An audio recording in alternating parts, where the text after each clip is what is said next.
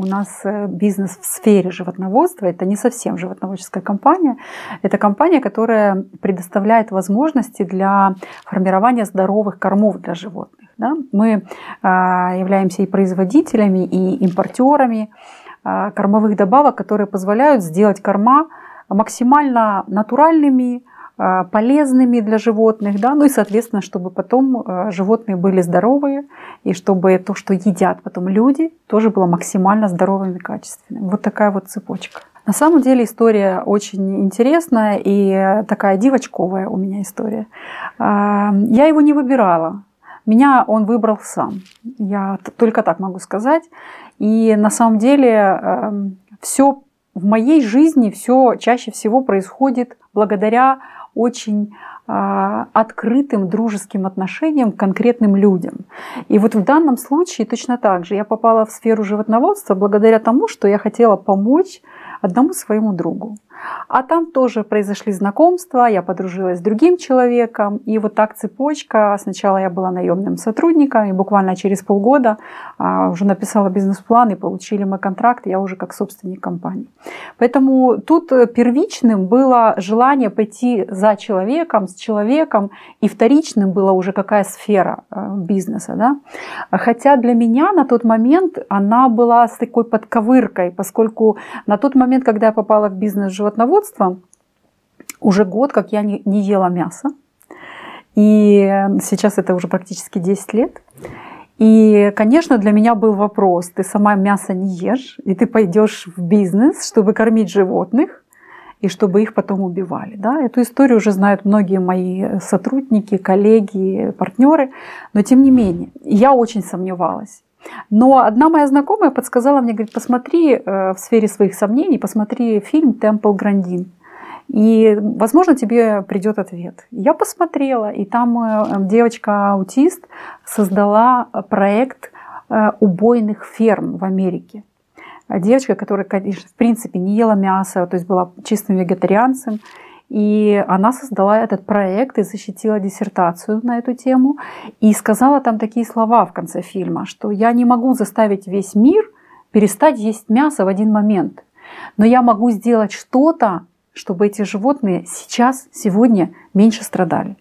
И это было решающим моментом. На тот момент я поняла, что просто стоять в стороне и считать себя э, такой белой, пушистой, я не ем мясо, я такая хорошая – это не вариант, это чуть-чуть эгоистично, и это, собственно, не спасет мир. А, а пойти в животноводство и что-то сделать э, хорошее именно в этой сфере, вот так сложились пазлы, поэтому я здесь. Я приняла решение о том, что я иду в животноводство, и тогда же в этот момент я себе дала слово, что если я сюда иду, то я должна делать все максимально хорошее для животных и для людей. То есть это не будет чистое зарабатывание денег, потому что бизнес, я понимаю, что это прежде всего э, должен приносить доходы. Это бизнес, это а, как бы эм, основополагающий принцип развития бизнеса, чтобы он приносил доходы, мог расширяться и так далее. Но, а, конечно же, на сегодняшний день особенно актуально, чтобы у бизнеса была миссия. И в тот момент, когда я приняла решение работать в этом бизнесе, я поняла, что нашей миссией будет а, делать все, чтобы укрепить здоровье животных, чтобы их э, жизнь сделать максимально комфортной, и чтобы продукты питания животного происхождения для людей, потому что у меня четверо детей, мне это не безразлично, а, чтобы продукты питания были максимально здоровыми и качественными.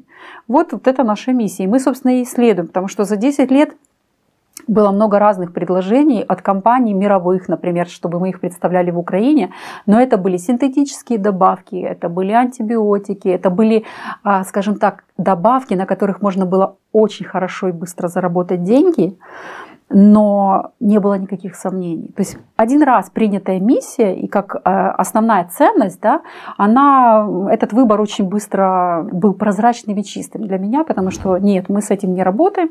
Это не значит, что я осуждаю или как-то против этого. Я понимаю, что в некоторых случаях без антибиотиков, без неких синтетических добавок а, сложно справиться. Я просто немножко больше сейчас уже понимаю в этом бизнесе. Да? Но это не значит, что мы не должны стараться все-таки двигаться в, пользу, в сторону натурального кормления, экологичного кормления, этичного отношения к животным в том числе. Вы знаете, я могу сказать, что вот за то время, сколько я в этом бизнесе, ситуация очень хорошо и кардинально меняется. На самом старте, конечно, многие просто смеялись. Потому что, ну, во-первых, и я была моложе, и воспринимали как вот девочку с э, такими утопическими идеями, которая пришла вот здесь и хочет э, старожилам бизнеса рассказать, как правильно вести бизнес. Но ситуация меняется, э, и возраст у меня увеличивается, да, авторитет прибавляется с возрастом. Но я шучу, конечно. На самом деле тенденции мировые прослеживаются и в Украине точно так же. И если раньше э, более дорогое натуральное кормление в принципе воспринималось, зачем нам это надо, нам нужно зарабатывать деньги, у нас хорошо работает антибиотик, и нам вообще этого ничего не нужно, то на сегодняшний день кто-то э, дошел осознанно к тому, что не безразлично, что едят люди дальше, да, а кто-то, кого-то заставили обстоятельства, потому что, первое, антибиотики перестают работать, это факт.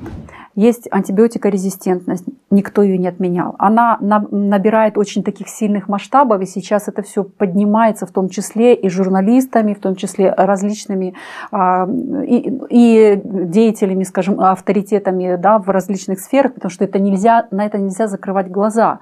Хотим мы или не хотим, это влияет на то, как потом люди справляются с различными заболеваниями, потому что это все взаимосвязано. Поэтому, конечно же, сейчас кто-то хочет добровольно, а кто-то не хочет, но их заставляет обстоятельства и время смотреть в сторону экологичного натурального кормления. Поэтому на сегодняшний день это наше время.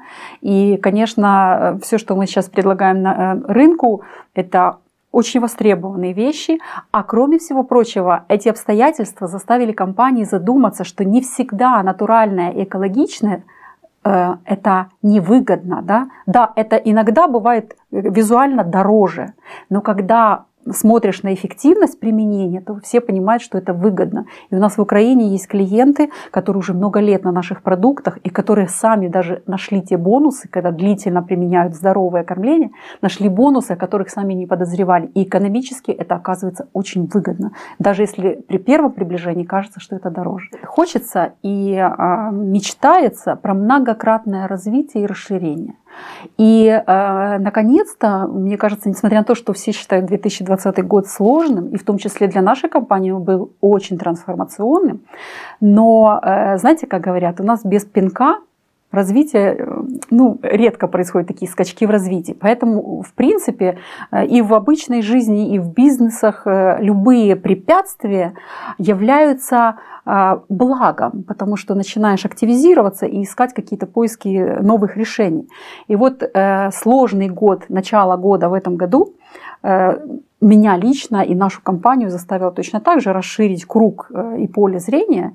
И на сегодняшний день у нас несколько новых контрактов, замечательные продукты, продукты, о которых, например, я еще несколько лет назад только мечтала, и сейчас они являются э, уже нашими, э, в нашем арсенале. У нас есть сотрудничество сейчас с польскими научными работниками, с докторами биологических наук, вот, например, Кшиштофом Каснером, который разработал э, продукт. Это, э, это дешевый, достаточно дешевый, но очень э, натуральный, эффективный белковый компонент для корма. А белок – это очень важная составляющая в корме. И в силу сегодняшней тенденции на рынке, когда белковых компонентов, в принципе, это дорогие достаточно компоненты, а он предлагает рынку не просто а, более дешевый компонент, да, а он еще предлагает такой продукт, который меняет качество мяса даже, да, усваиваемость мяса, содержание свобод... Э, э, аминокислот и так далее. То есть он еще и полезным делает продукт. То есть э, не стоит наука на месте, и я очень рада, что нас мир сейчас и Вселенная свела с такими очень творческими и глубокими людьми. А, то есть это не просто торгующая компания, это человек, который всю жизнь занимается исследованием. Да? И таких компаний у нас сейчас несколько. И в ближайшее время мы выводим на рынок еще новые новые продукты. А, в том числе мы долго занимаемся натуральным эфирным маслом орегано.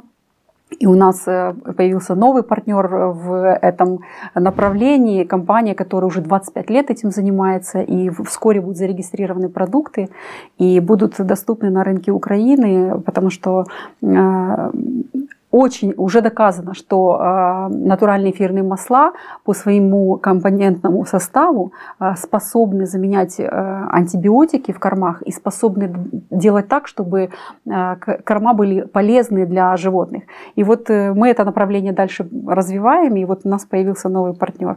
Пока я, может быть, не называю много имен, потому что это все сейчас в процессе, и на нашей страничке Facebook мы всегда знакомим наших клиентов, наших партнеров со всеми новинками. В ближайшее время их будет очень много.